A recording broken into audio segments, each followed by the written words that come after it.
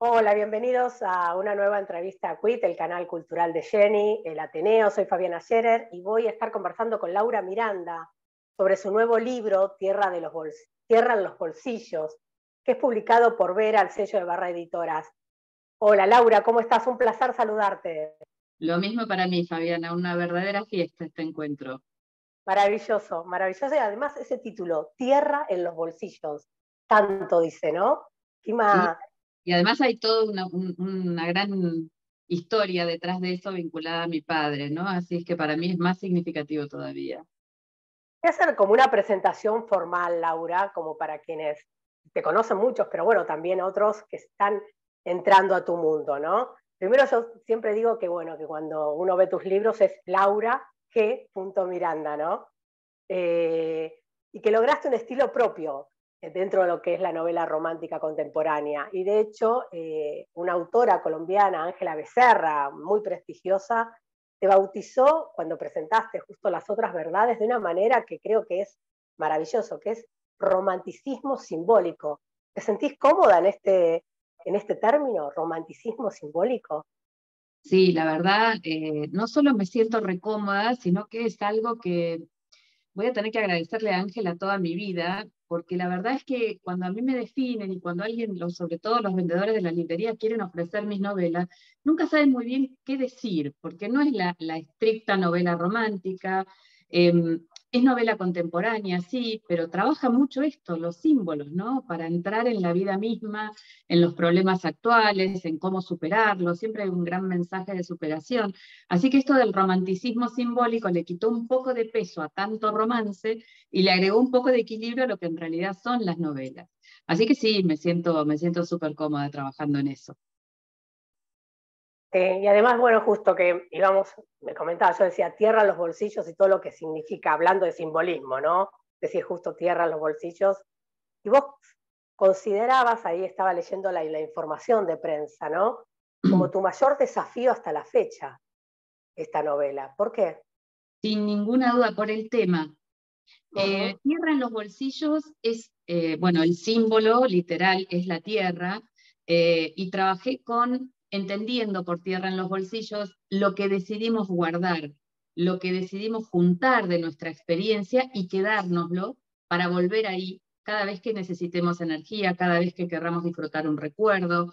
Eh, y digo que fue el mayor desafío porque en esta novela yo me animo a proponer etapas alternativas de duelo, entendiendo no solo el duelo y también de muerte o de pérdida de una persona, sino todo lo que perdemos continuamente mientras vivimos, ¿no?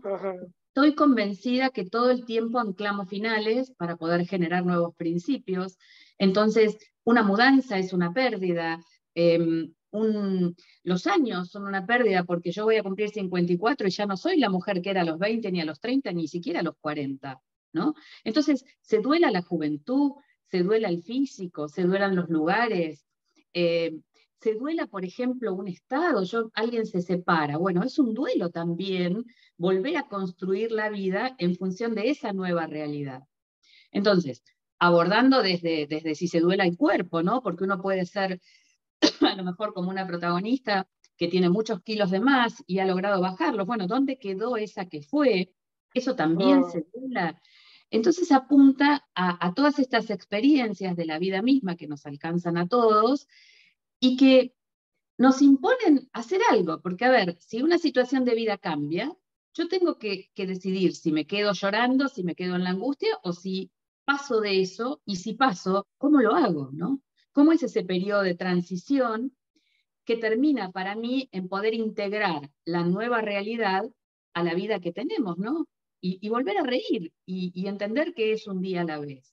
Así que creo que con este, este tema eh, está legitimado decir que ha sido mi mayor desafío porque estudié un montón, no es un libro que pretenda tener un contenido científico, ¿no? Las etapas de duelo tradicionales de Elizabeth Kubler-Ross, ella es médica, fueron estudiadas y escritas para enfermos terminales. Yo aquí estoy hablando de un, abanico más grande de, cuestiones, em, pero son las que funcionaron para mí. O sea, yo medito, practico mindfulness, y por supuesto, como todo el mundo, he tenido que duelar pérdidas y sigo teniendo pérdidas pendientes que asimilar. Entonces me animé a compartir esto que fue bueno para mí, esto que funcionó para mí. Porque las etapas tradicionales yo creo que lo que tienen es que datan del año 69. Ha pasado mucho tiempo desde entonces y la vida tiene otro ritmo. Yo no sé si tenemos tanto tiempo para duelar uno o dos años cada cosa que perdemos. ¿No? Entonces me pareció que una mirada un poco más actual, más fresca sobre esta verdad, podía sumar.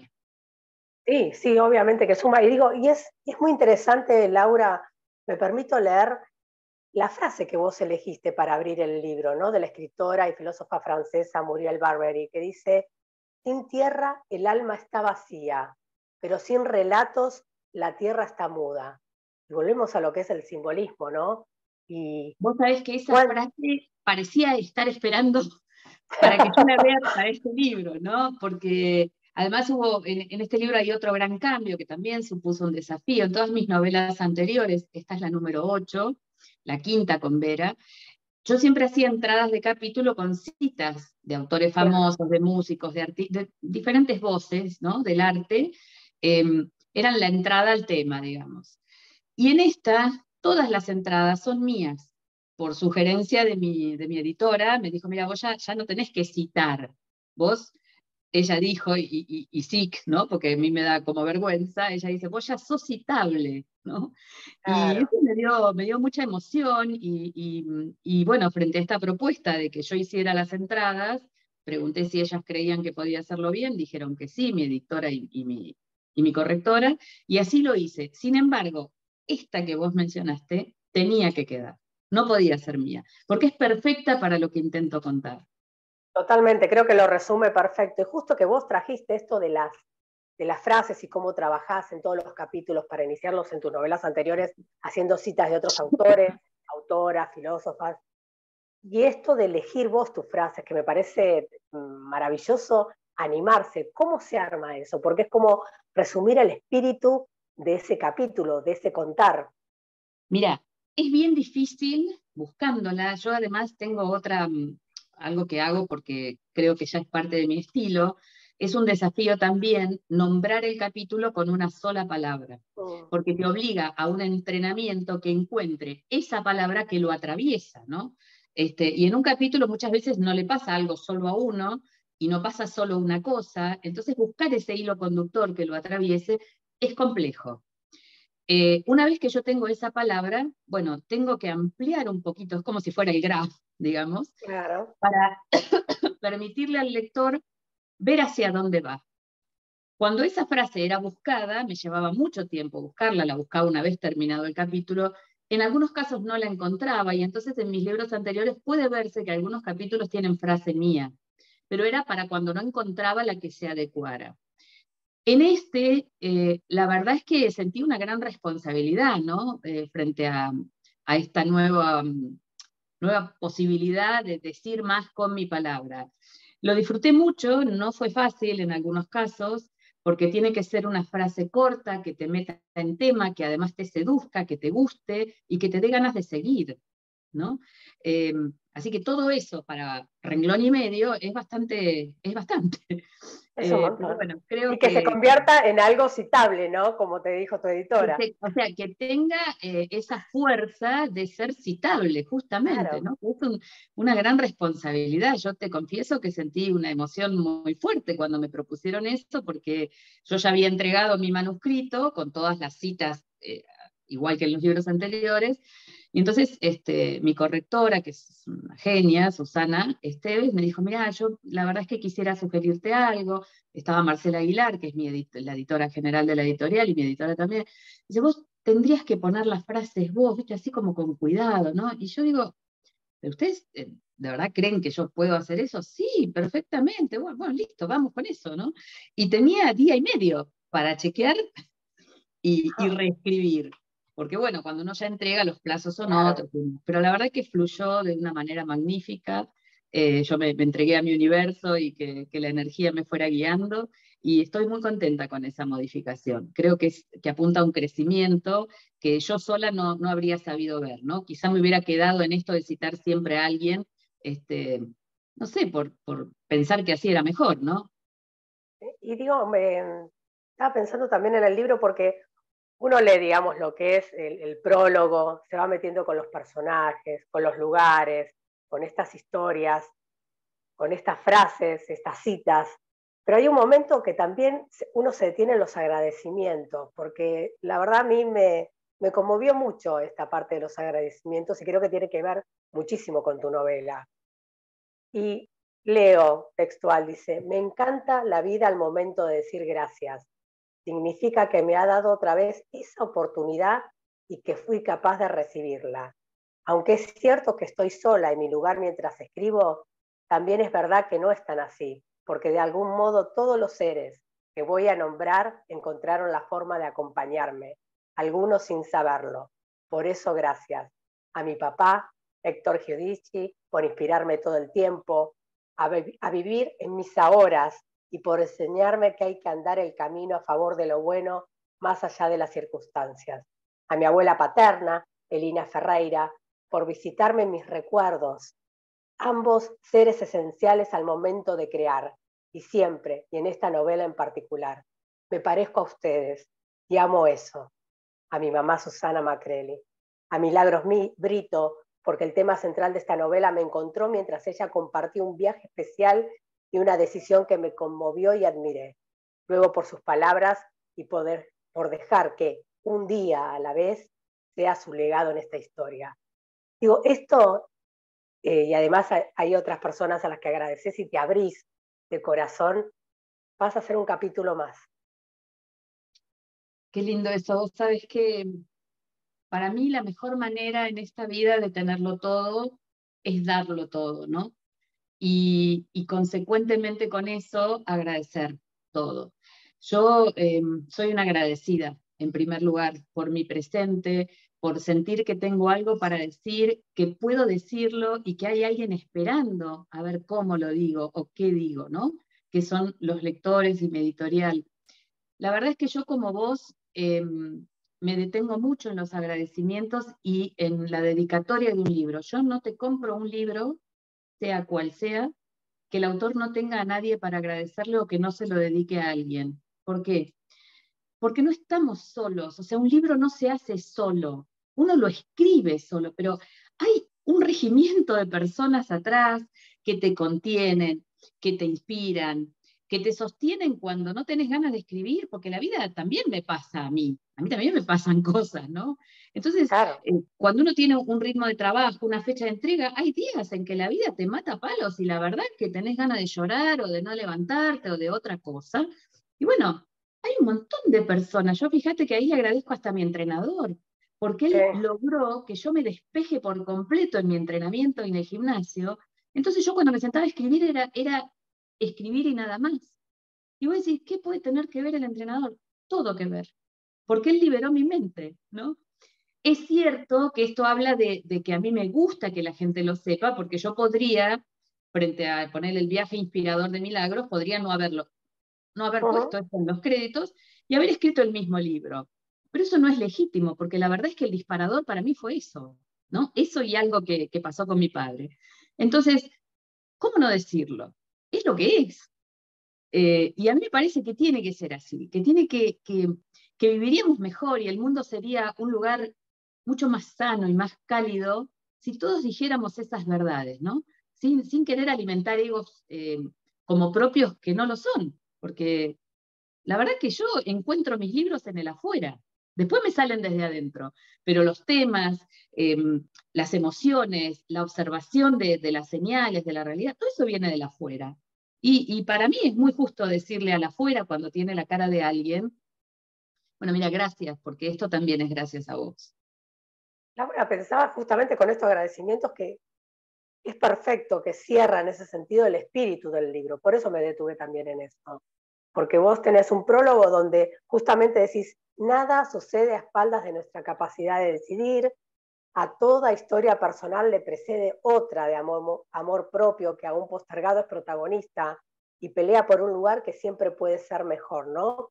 Y ahí vas abriendo, digamos, ese mundo en el que no estás sola y lo cerrás perfecto con esos agradecimientos mm. también.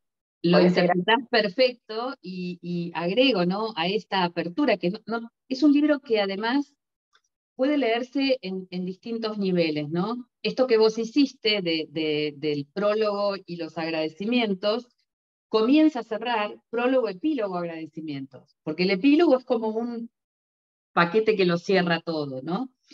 Eh, luego están, tiene la, mm, tuve la fortuna de que también Susana, mi, mi correctora y diseño de la editorial, a estas etapas que yo propongo les pusieran carátula.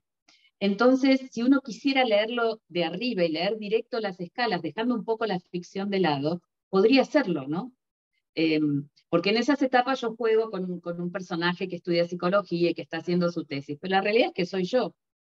El narrador se mete ahí completamente. Entonces, Justo te iba a preguntar de eso porque es muy interesante cómo está dividido, ¿no? Con estas, esta como si fuera en el, en el libro, se ve como un anotador, la, ¿no? La, la imagen es anotador donde están estas reflexiones. Y yo pensaba en eso también, uno puede tenerlo sin meterse en la ficción y leer eso aparte.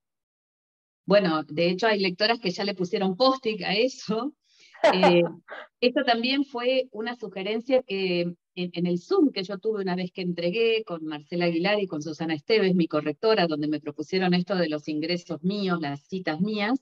La otra propuesta fue, bueno, Laura, mira, las etapas en un origen eran capítulo, y Susana dijo, no, eso, eso no es capítulo. Eso hay que hacerlo para que se pueda leer desde otro lugar, ¿no? Como en distintos niveles. Bueno, por supuesto acepté su sugerencia y detrás de eso me dijo, y además tiene que tener una carátula y jugar con qué es el apunte de la protagonista que está preparando su tesis. Y la verdad que fue una genialidad, eso no fue idea mía, este, fue idea de, mi gente, ¿no? De la gente de la editorial, yo por supuesto acepté, me pareció maravilloso, y cuando, cuando lo veo materializado digo, pero esto, ¿cómo? Qué visión, ¿no? Haberse dado cuenta que no era capítulo, que era así, era etapa en cuaderno de apuntes. Bueno, eso es lo que tiene, digamos, el equipo ahí de Vera también, ¿no? Que a cada libro le dan también como un... Trabajan de una manera muy personal, digamos, muy tratando de develar, digamos, el escrito del autor. Es lo que me parece, digamos, y en el tratamiento con tu hijo pasó eso, ¿no? Así, este, nos cuidan muchísimo, cada autora eh, se ocupan de que destaque su impronta, por ahí se ve más conmigo, porque como he sido la primera, soy la que más libros tiene a la fecha, pero si ustedes analizan los libros de las otras autoras, todas tienen como, como su mensaje, como ese estilo propio, cada una bien diferente, y a la vez todas pertenecientes a un gran equipo que lo que quiere mostrar es la mujer de hoy, la que cree en el amor, pero a la que le pasan cosas, ¿no? O sea, por lo menos en mis libros, y me animo a decir en casi todos los Vera, no son esas historias de amor que a veces te pasa con libros o con una serie que uno la ve y dice, qué divino, y cuando termina dices, sí, bueno, pero esto no, esto no le pasa a nadie, o le pasa a dos. No, esto, lo que yo escribo por lo menos, nos pasa a todas. Lo raro es que no le pase a alguien, ¿no? Porque ¿quién no tiene algo que duelar? ¿Quién no tiene algo que ha perdido y que tiene que aprender a no sufrirlo y a transformarlo? Y a la vez a no olvidarlo, ¿no? A que sea parte de la nueva realidad todas, todos. Eh, así es que en esto Vera es, yo creo que, que se destaca mucho el sello, me, da mucho orgullo pertenecer, porque, porque está mostrando esto, está mostrando la mujer que con argumentos no necesita levantar la voz, que con ideas, con soluciones puede generar empatía en otras mujeres y disparadores. Creo que es un sello inspirador. Y además, justo que marcabas, Laura, fuiste vos la autora elegida para iniciar el sello, lo que es maravilloso también. Imagínate que mm, Volver a mí, que fue el, libro que me, que, me, que me llevó a este lugar que hoy ocupo, ¿no? porque es un libro que sigue rankeando a casi tres años de, su salida, en el 2019, no estaba escrito cuando Ver Editoras estaba eh, creando el sello Vera y me convocan cuando a mí me cuentan la idea del sello, el perfil que se buscaba, este, yo enseguida veo una mujer de, más años, ¿no? como mi protagonista de ese libro, que tiene 45, que tiene todo para ser feliz y no es, y la veo con una valija, y el libro pasó ante mí, ¿no? Se lo comento a quien en ese momento me, me, me buscó, le pareció bárbaro, y es la primera vez desde que yo escribo que yo no le mando un manuscrito a alguien para ver si le interesa, sino que alguien viene a golpear mi puerta y no hay manuscrito. Una cosa, viste, como decir, para los que escribimos, que sabemos lo difícil que es el camino de la publicación, lo largos que son los tiempos de lectura de las editoriales, todo legítimo en este oficio, ¿no? Porque así se maneja. Imagínate que no solo que te vengan a buscar, sino que además vos propongas la idea y el libro no esté escrito. O sea, yo firmé contrato de un libro que no estaba escrito, ¿no? Claro, es algo... Es algo inédito. Y ahora, con el diario del lunes, que yo sí le voy con una idea a mi editora y firmo, pero bueno, ahora, ahora hay números que ahora yo ya soy como, digamos, entre comillas, confiable, ¿no? Claro, claro. Pero lo que ellos hicieron por mí en ese momento cambió mi vida, definitivamente cambió mi vida. Entonces, todo lo que yo le pueda devolver a Vera es poco al lado de, lo que me han dado, ¿no? Y de lo que me dan. ¿Y sabes por qué traía también eso? Porque me parece también un juego de volver a mí, ese título tan, tan fuerte y lo que significa, y tierran los bolsillos, que también es volver a uno. Totalmente. Y al pasado. Totalmente. Es que yo creo que la vida bien vivida, y el que te la cuenta honestamente, tiene que aceptar en su relato que nos perdemos más veces de las que nos gustaría. Ah. Entonces todo el tiempo estamos como en esa búsqueda de volver a ser quienes fuimos y, y no significa que te tenés que perder al 100%. Por ejemplo, cuando yo escribí Volver a mí, yo había olvidado el sonido de mi risa. Y vos decís, eso es perderse, perderse en la rutina, en las obligaciones, en los problemas o en la nada misma, ¿no? ¿Por qué uno deja de reírse cuando reírse es lo más energético y saludable que le puede pasar a un ser humano? ¿Porque no hay motivos? Mentira, porque uno se puede reír hasta de uno mismo cuando le va mal. ¿No? Que es lo ah. que yo hago. Yo me divierto mucho conmigo cuando, cuando las cosas no me salen, listo. O de los chicos, viste que los, los, hijos no son perfectos, distan mucho de eso, y uno los ama y no hay donde devolverlos, y bueno, pero vos podés lo que con las cosas de los chicos, o podés decir, bueno, viste, hablas con una amiga y decís, bueno, sí, ya está, ¿qué va a hacer? Es así. Este, y, y, entonces, en eso, volviendo al eje de tu pregunta, creo que volver a uno es una necesidad continua eh, como de estar llamándonos, ¿no? Cada vez que la vida se nos escapa. Y esto va de la mano de mi convicción de que vivimos en el ahora. Aquí y ahora es todo lo que tenemos. Esta entrevista, este momento, esto es mi vida ahora, ¿no? Ni mañana, ni el año que viene, ni ayer, ahora. Entonces, tierra en los bolsillos viene a decirme, ¿qué me guardo de este ahora para que se quede conmigo? ¿Qué libero de este ahora para que no me haga daño? ¿no? ¿Qué transformo de este ahora? ¿Qué tierra me guardo? Este, y bueno, ha sido este título porque, porque viene vinculado a, algo que mi padre me dijo cuando yo le conté a mi mamá que iba a escribir sobre las pérdidas, ¿no? ¿Y que lo podés comentar? Lo que, sí, lo que te dijo tu padre. Cuando yo le cuento a mi madre, mi madre 84, mi padre 85 en ese momento, Mamá 83 en 85, les cuento hace un año que yo iba a escribir sobre pérdidas, yo hablo mucho con mi mamá, mi mamá es mi lectora fan número uno, mi papá no me lee porque dice que, que no, que no hace falta que él va a las presentaciones y que yo soy la mejor, entonces presume de mí, no lee porque, porque no le gusta leer, no me lee a mí, no lee, lee el diario, él, ¿viste? No lee ve. Bueno, cuestión que a mí me parece legítima, está bien. Cuando yo le cuento esto a mi mamá, mi mamá le cuenta a mi papá y mi papá me llama por teléfono, que ya es todo como una cosa rara, porque papá agarra el auto y viene, no, no habla por teléfono. Viste que la gente mayor con el celular medio que apretan el verde, pero... Entonces me llama y me dice, hija, mira, mamá me dijo que vas a escribir esto, bla, bla, sí, papá, y yo te quiero contar algo, porque para mí puede ser importante y te puede servir.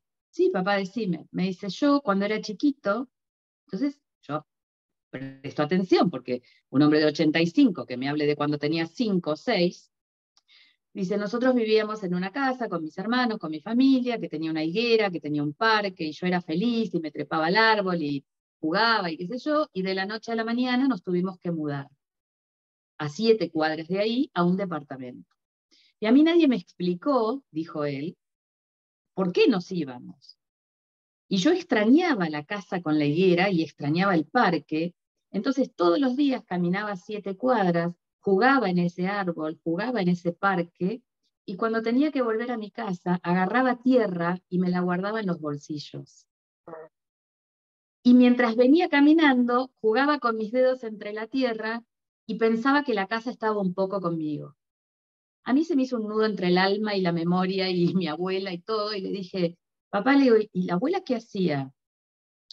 No, la abuela nada, me dejaba hasta que me dormía y me lavaba el pantalón a la noche para que al otro día yo pudiera hacer lo mismo, me dice. Entonces yo creo que mudarse también es algo que hay que duelar.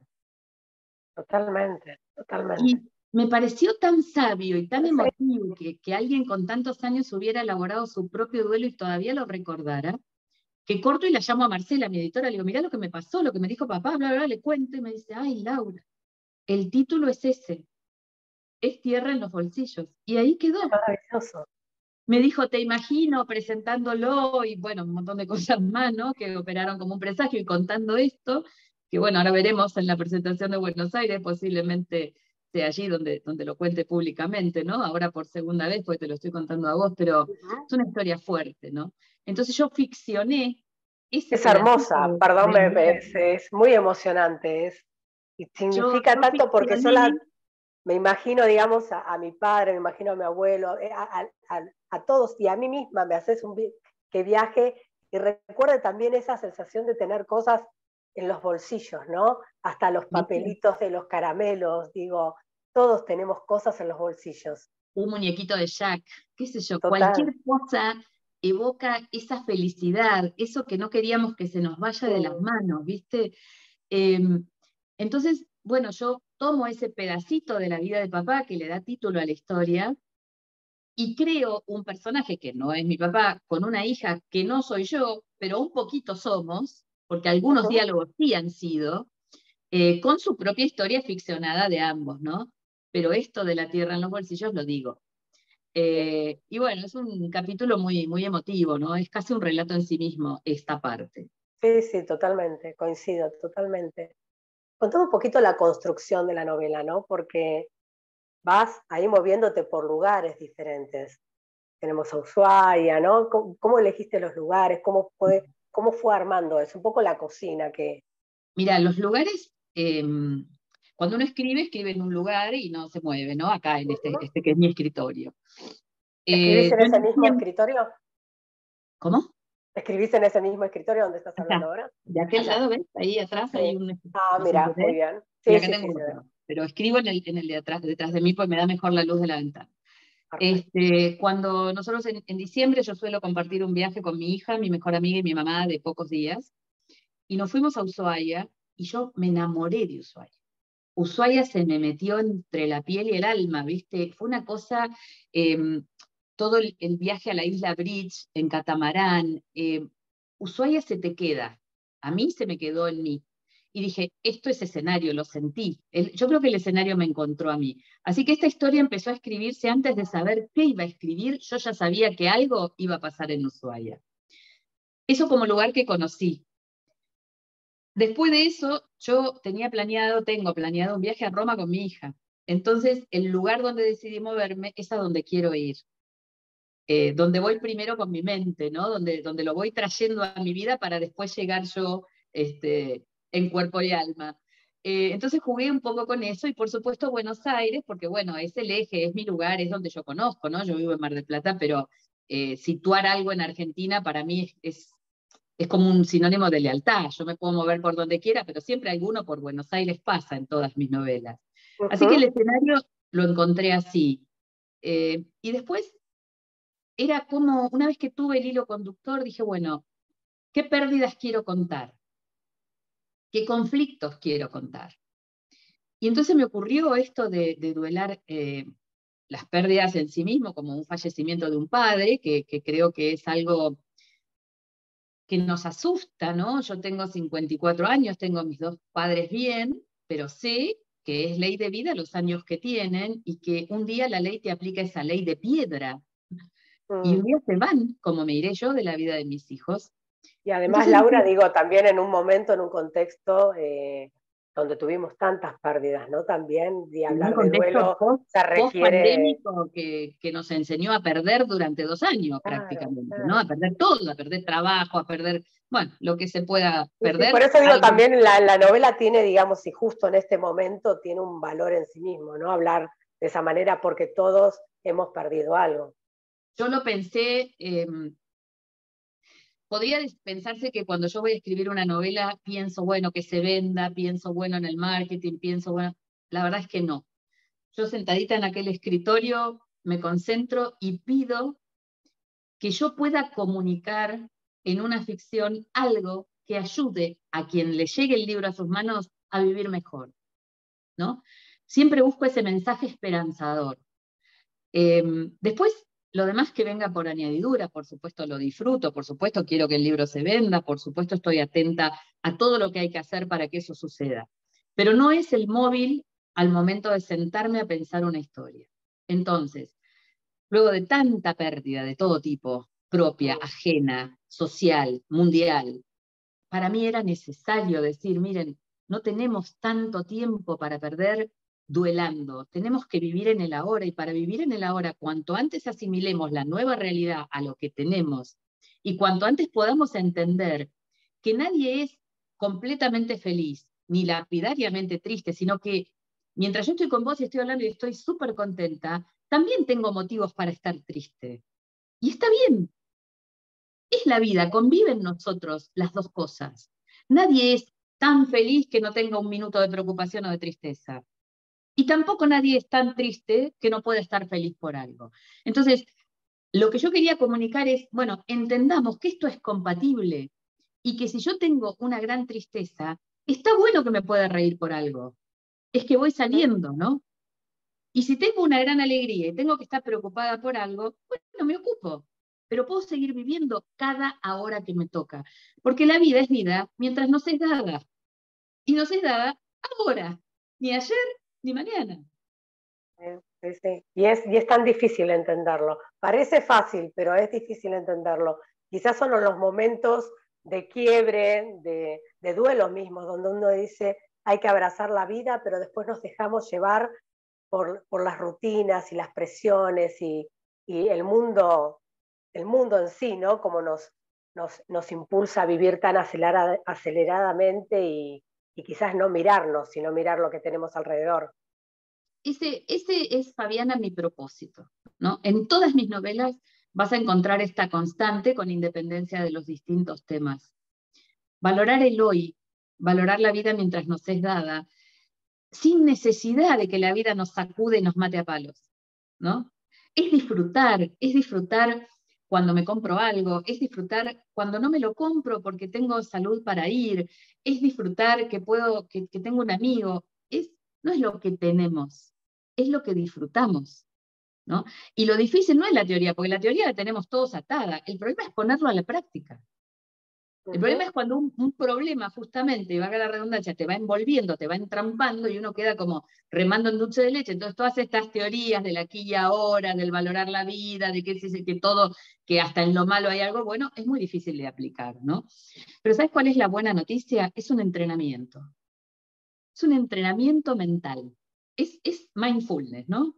Es, ¿Y esto cuando, cuando vos, digamos, diste con esta, esta idea de que hay que vivir, hay que abrazar la vida, hay que saber disfrutar, como habías dicho en un momento, ¿no? Con, que habías perdido la risa y recuperaste la risa. ¿Cuándo fue ese quiebre en tu vida? Todo el tiempo siempre fui em, muy observadora eh, de la meditación, del manejo energético, de, de creer en la energía, en el universo, todo eso te diría desde adolescente, pero no fue hasta el 2019 cuando pasa esto, que a mí me suceden dos cosas muy movilizantes. Una fue que le diagnosticaron una enfermedad Perdí terminal. el sonido. Ahí está, ahí está. Había ido el sonido, disculpa. ¿Cómo, cómo? Que se había ido el sonido, no, llegué a escuchar ah, lo que decías al comienzo. Te decía, hubo dos al 2019 por, por indicar la fecha de quiebre en mi manera de vivir. Una amiga de mi misma edad eh, le diagnostican una enfermedad terminal y se va en dos meses. Es decir, ella supo devolver a mí, yo se lo dediqué, la dedicatoria ella la vio y así quedó, pero ella nunca pudo ver el libro. Y otro hecho fue que mi hija en ese momento, en la mitad de la facultad y todo, me dice, bueno, em, dejo la facultad y me voy a Londres a mm, vender café, porque concretamente era el idioma, era la vida, era qué sé yo, pero lo cierto era que dejaba una carrera universitaria para irse con su novio a pasar un tiempo este, en Londres y bueno, a ver, hoy te puedo decir, volvió, está terminando su carrera, pero en ese momento yo no sabía. y, las posibilidades de que, de que no volviera y de que nada, que no, que no siguiera con su carrera, eran muchísimas. Eso me obligó a repensar que cada uno es dueño de su vida mientras le es dada, que los hijos son, y uno tiene que, aceptar sus verdades, ¿no? Más allá de que uno crea que tiene em, en el consejo todo es para bien de ellos y todos los chicos han cambiado mucho su chip. Entonces, un hijo viene y, viste, antes nosotros hacíamos todo primero y después viajábamos. Ellos primero viajan. Entonces vos te tenés que acomodar. Entonces ahí fue como un quiebre y yo dije, no, a ver, la vida es esto, mi hija está sana, está saludable, está bien. Eh, ahí un poco también por esto se me había perdido la risa, ¿no? Porque calcula que no me divertí mucho. Ahora te, lo puedo contar. Este, así que ya, que ya está. Como te digo, este, este, mecanismo de reírme de mí misma, ¿no? Pero te imaginas que yo estaba como loca, la aguja me había llegado. Y pero nada, se fue. Y se fue. Y tuve que aprender a vivir con eso. De hecho, mientras yo escribía Volver a mí, y todo esto bueno de que me vengan a buscar, que hablábamos antes, me sucede, mi hija no estaba conmigo. Entonces, ahí es donde digo, la vida te da una gran preocupación y te da una gran alegría, y hay que aprender a vivir y disfrutar eso, ¿no? Entonces yo ahí empecé a transformar lo que no me gustaba en algo que me hiciera bien. ¿De qué manera? Por ejemplo, mi hija fue mis ojos en Bélgica. Ella me llamaba y me decía, mamá, Bélgica, esto, lo otro, otro. Yo estaba escribiendo y llevé a mi protagonista a Bélgica y la vi Bélgica con sus ojos, ¿no? Entonces yo capitalicé ese viaje de ella, en lugar de preocuparme, que igual estaban, las preocupaciones son como un asterisco que ahí se queda, pero elegí vivir, Fabiana.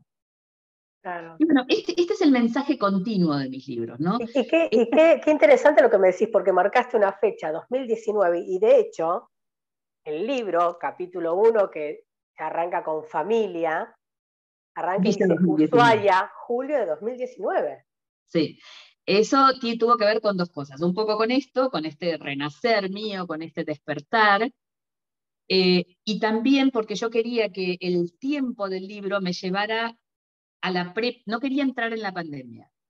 Mm. Me, parece que la pandemia tuvo ya demasiado episodio triste como para hacerlo trascender la eternidad escrito en alguna parte, ¿no?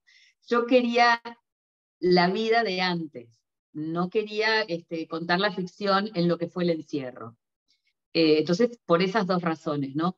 Pero la verdad es que del 2019 a la fecha yo vengo ejercitando y multiplicando todo esto en lo que creo en forma permanente desde la meditación, lo que leo, lo que escribo, lo que predico, eh, y todo lo que te digo que hago, eh, lo hago. O sea, no es que le digo a la gente, mire, usted haga esto, pero no, no, yo soy una prueba viviente de que eso funciona.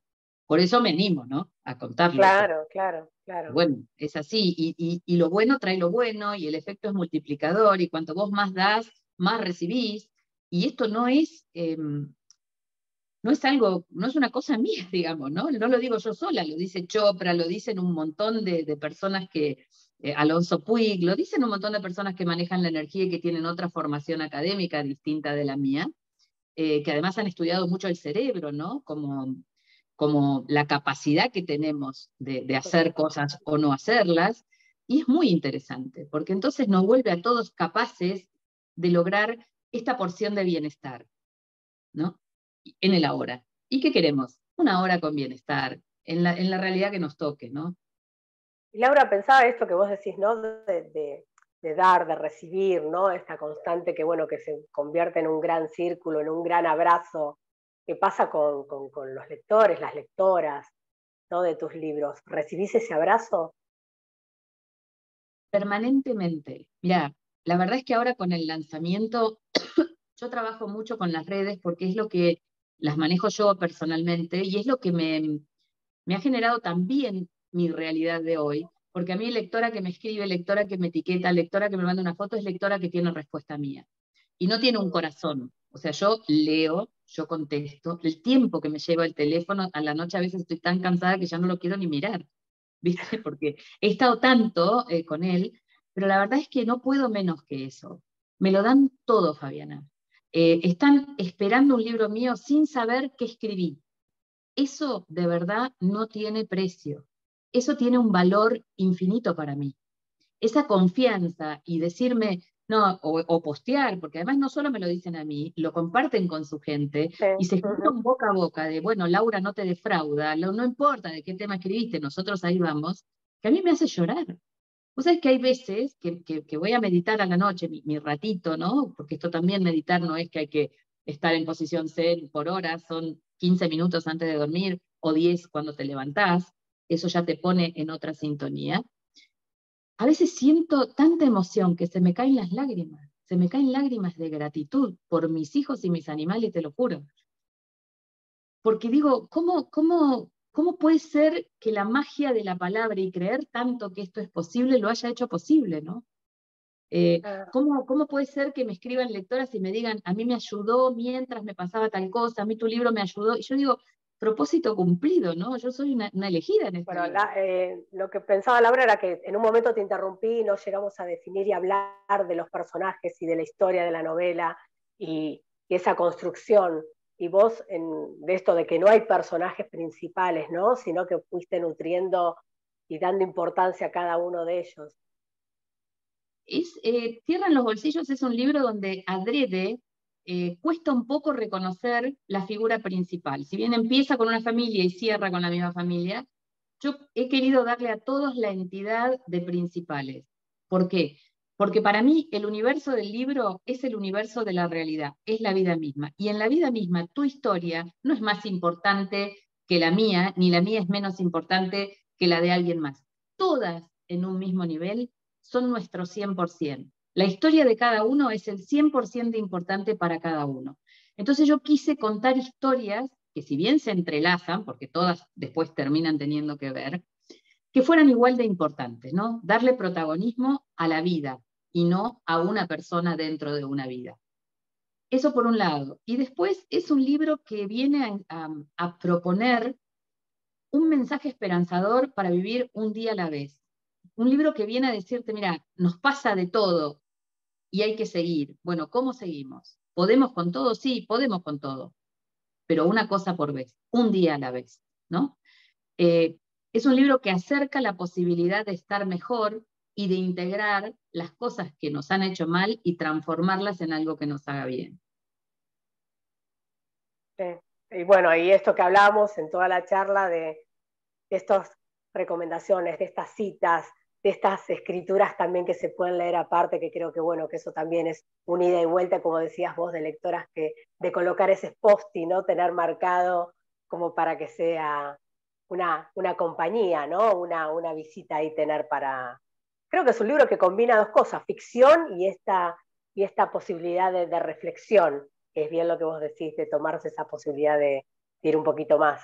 Mira, para ir más al simbolismo y más profundo todavía, es un libro para que sea tu tierra en los bolsillos. Es un libro para que no sea olvidable, para que te deje algo que capitalices y te guardes, ¿no? Lo que vos quieras, lo que encuentres ahí que sea justo para vos. Yo estoy convencida que el mensaje que el libro lleva le va a llegar a quien le deba llegar eh, en el momento en que le deba llegar. Bueno, que sea esa tierra que ese lector guarde, ¿no?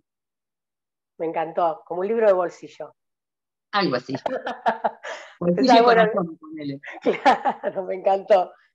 Quiero, bueno, eh, más allá que estuvimos hablando de tu última novela, no dejar de repasar un poco tus otros trabajos para que también los lectores tengan en cuenta que, cómo buscarte, ¿no? En ver ahí que tenés aquellas novelas. Eh, ¿Querés dar como una frasecita de cada una de las que publicaste? ¿Te gustaría hacerlo? Sí, te voy a hablar de las de Vera, que son las que están disponibles, las otras van a, van a ser relanzadas, pero ahora cuesta bastante conseguirlas, las del editorial anterior.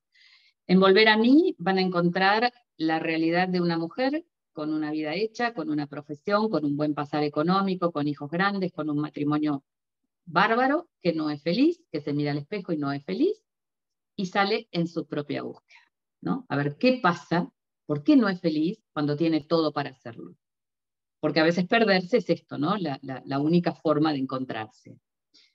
Eh, en Después del Abismo, todos los personajes, todos, es un libro con muchos personajes, tocan fondo, llegan a ese día donde dicen, listo, hoy no me quiero levantar, ya, ya basta, ya me pasó lo suficiente.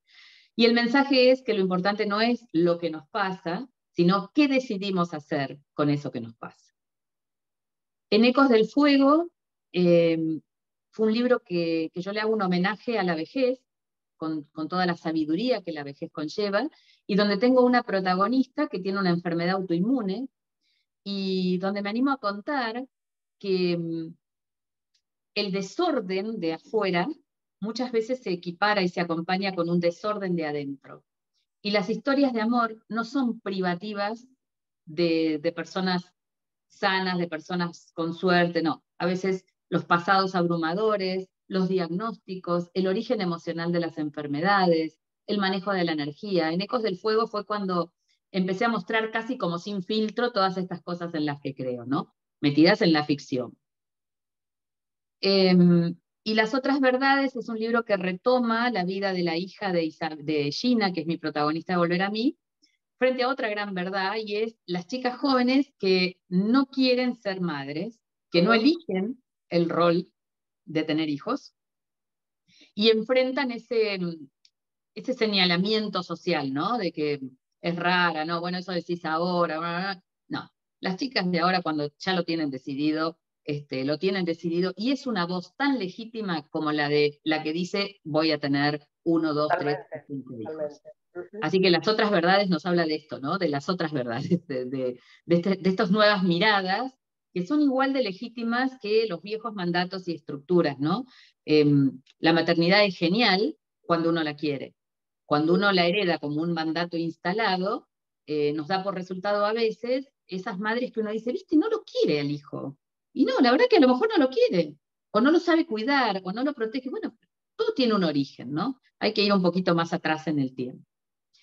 Y finalmente, bueno, llegamos a, este, al, amor de mi vida, que es el último, que es un libro del que te hablé recién, que, que bueno, es, es mostrar cómo tener la capacidad de disfrutar y de elegir lo que queremos tener en nuestros bolsillos siempre a mano, ¿no? Eh, desde una manera simbólica, por supuesto. Hermoso, y aparte cuando hiciste todo el repaso de, tus libros, por lo menos los publicados por Ver, que son los que se consiguen, digo, es este, bueno, Tierra significa como un cierre, como una continuación. A mí me da la sensación que tus libros son un, crecimiento, una búsqueda tan interna tuya que se refleja ahí. Yo creo que sí, que tenés razón. Creo que sí, y creo que el, el salto, digamos, fue volver a mí, después, bueno, fui creciendo a, otro ritmo y creo que Tierra en los bolsillos sería otro volver a mí. Yo lo siento como, como otro gran, gran despegue de, de evolución, ¿no? Eh, en, este sentido lo describiría. Creo que, que, mi evolución está marcada 2019 y si hablamos dentro de tres años te voy a decir, el otro, la otra parada fue en el 2022. Quiero leer una partecita y así nos despedimos, eh, que está ahí en el prólogo y dice, respiro hondo, busco en el cielo, me gusta la humildad de mirar hacia arriba y el sentimiento que me provoca agradecer. Algo en mí crece, cierro los ojos, guardo las manos en los bolsillos. Entonces mis dedos se mezclan despacio con la tierra que elegí juntar.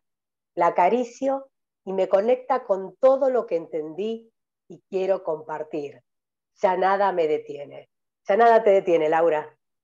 Nada, Fabiana. Y me hiciste llorar. En tu voz me, llegó desde otro lugar. Eh, no, nada me detiene.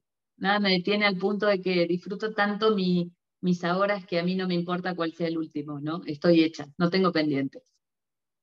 Te agradezco muchísimo, Laura, esta charla hermosa para Quit, para el espacio cultural de Jenny el Ateneo. Eh, creo que es un libro hermoso y tierra los bolsillos, como hablamos al comienzo con todo ese simbolismo, lo que significa, y te agradezco la anécdota y, abrirte de la manera que te abriste para compartir con los lectores.